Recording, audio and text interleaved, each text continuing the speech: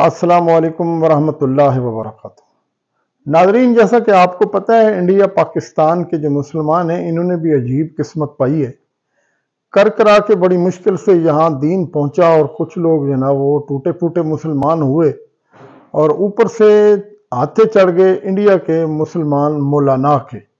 और इन मौलानाओं ने लोगों को ऐसी खुराफात और बिदात में फंसाया कि आज तक हम दर दर की ठोकरें खा रहे हैं और अभी तक हमें खालिस तोहीद के बारे में ओलमा नहीं बता रहे। और अभी तक दरबारों और मज़ारों के चक्कर में फंसा के रखा हुआ है और सारी मुरादें और मनतें और लोगों का जो है ना रजू इन दरबारों और मज़ारों की तरफ़ किया हुआ है कि ता क़यामत हम इसी उलझन में फंसे लें खैर, कसूर ओलमा के साथ साथ अवाम नास का भी होता है कि जो पढ़ने को तरजीह नहीं देते। आज एक इंडिया की वीडियो देखने का मौका मिला है। जनाब, वो बड़ी अजीब वीडियो है, बड़ी मजक्का खेज उसकी जो है ना वो करामत बताई जा रही है कि हज़रत बाबा शाह आलम रहमत कोई दरबार है इंडिया में, कोई बुज़ुर्ग थे, वफात होगी उनकी, उनका मज़ार बना हुआ है। तो उनके तोते की करामत और साथ तोते की कब्र भी बनाई हुई है कि ये तोता था, शाह आलम ने पिंजरे में रखा हुआ था, साथ बैठते थे, तिलावत करते थे, वो तोता जो है ना हाफिज हो जाता था। खैर एक दिन आपने निगाह मार के पूरा हाफिज बना दिया तोते को। आप ये वीडियो देखें और इनकी बातें सुने। उसके बाद फिर मैं अर्ज़ करता हूँ। तो ये जो मज़ार शरीफ है, ये हाफिज़ कुरान तोते की है। अब इसका वाक़ मैं आपको बताता हूँ। हजूर शाह आलम रहमत जो है, जब भी कुरान शरीफ की तिलावत करते हैं तो ये तोते का पिंजरा आपके बगल ही में रहा करता था। तो जब भी आप कुरान शरीफ तिलावत करते तो ये तोता आपकी तिलावत को सुनता और सुन कर के याद कर लिया करता। अब कोई आम तोता होता तो ये बात उसके अंदर नहीं आती, क्योंकि ये हज़रत शाह आलम का तोता था तो अल्लाह के वली का फैज़ान उसे भी हासिल था। इसी वजह से उसकी जहानत इतनी मज़बूत हो गई कि वो कुरान शरीफ को याद कर लिया करता था। तो नाजीन इसने सुनते सुनते कुरान शरीफ को याद करना शुरू किया और पढ़ना शुरू किया। तो शाह आलम रहमत एक मरतबा आलम वजद में बैठे हुए थे। तो उसी हालत में आपने उस तोते पर ऐसी निगाह डाली कि वो तोता मुकम्मल कुरान शरीफ का हाफिज़ हो गया और कुरान शरीफ उसे याद हो गया।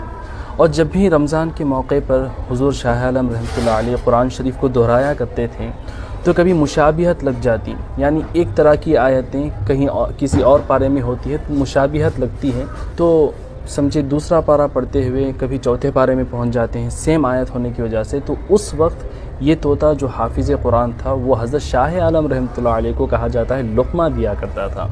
एक मरतबा ऐसा हुआ कि ये तोता खूब ज़्यादा आवाज़ करने लगा और हज़रत शाह आलम रहमत आलम वजद में बैठे हुए थे। उसी हाल में आपने उस तोते पर एक निगाह डाली, जिसकी वजह से वो तोता वहीं पर मर गया।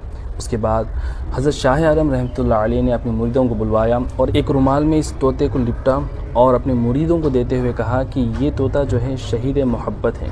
इस तोते को ले जाओ और अदब के साथ दफन कर दो। तो उसके बाद यहाँ पर हजूर शाह आलम की पैंती जानब इस तोते को दफन किया गया है। कहा जाता है कि जो बच्चे बोल नहीं पाते आ, सही ढंग से बात नहीं कर पाते यहाँ पर आकर के हाज़िरी देने से हजूर शाह आलम रहमत के वसीले से दुआ करने से अल्लाह तबारक व ताली उन बच्चों को गोयाई दे देता है वह आसानी के साथ बोलने लगे। जी नादरीन आपने हज़रत तोता साहब पीर तोता साहब की जो है ना वो कहानी सुननी है। ये जनाब शाह आलम के तोता थे। क्या किस्मत पाई है इस तोते ने भी कि निगाह लगी है इसको और वो हाफिज कुरान बन गया। और बदकिस्मती भी अजीब पाई है कि निगाह लगी और फौत भी हो गया। और फिर चलो पीर की शफकत देखें कि उन्होंने इसकी कबर बना दी।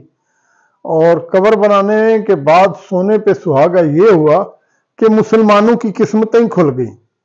कि जिनके बच्चों को ज़ुबान का मसला होता है, कोई तोतलापन होता है या कोई बीमारी होती है तो वो वहाँ जाके तोता साहब के मज़ार के पास जाके दुआएँ करते हैं और उनको करामात और फैज़ के ज़रिए से जनाब उनकी मुश्किल हल हो जाती है और उनको बोलने में आसानी हो जाती है।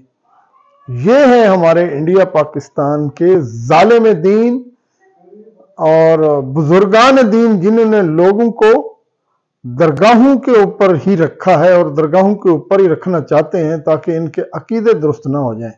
और इन ालिमान दीन की वजह से आज तक लोगों को खरी और सच्ची तोहीद नहीं बताई गई। अल्लाह ताला इनके हाल पर रहम फरमाए।